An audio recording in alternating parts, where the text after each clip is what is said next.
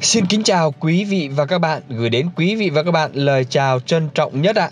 Thưa với quý vị và các bạn, ngay lúc này đây thì tôi cũng vừa mới mua về được một chiếc xe Hyundai đây quý vị bạn nhé. Tôi quay tôi giới thiệu luôn cho quý vị và các bạn ạ.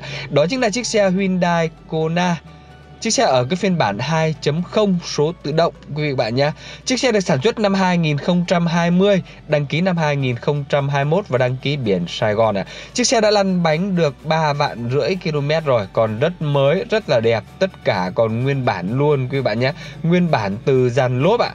Với chiếc xe này thì chúng tôi cam kết với quý vị và các bạn thứ nhất là không tai nạn, thứ hai là không ngập nước, keo chỉ nguyên bản và máy móc còn nguyên bản chúng tôi đang đăng chào bán với giá là 599 triệu đồng quý vị và các bạn nhé.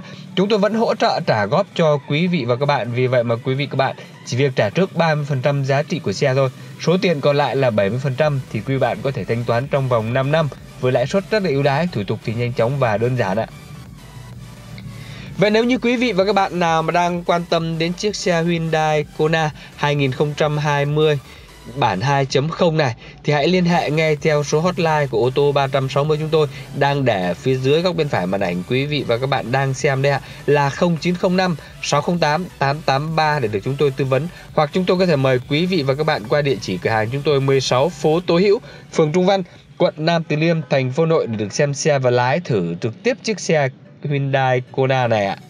Quý vị và các bạn đang theo dõi clip thì xin quý vị và các bạn hãy like clip, hãy đăng ký kênh ủng hộ cho kênh ô tô 360 chúng tôi và cũng là để đón nhận những video mới nhất, những chiếc xe mới nhất chúng tôi đang lên trên kênh ô tô 360 này. Cảm ơn quý vị và các bạn rất là nhiều. Rất mong được gặp lại quý vị và các bạn trực tiếp tại cửa hàng chúng tôi 16 phố Tố Hữu, phường Trung Văn, quận Nam Từ Liêm, thành phố Hà Nội ạ.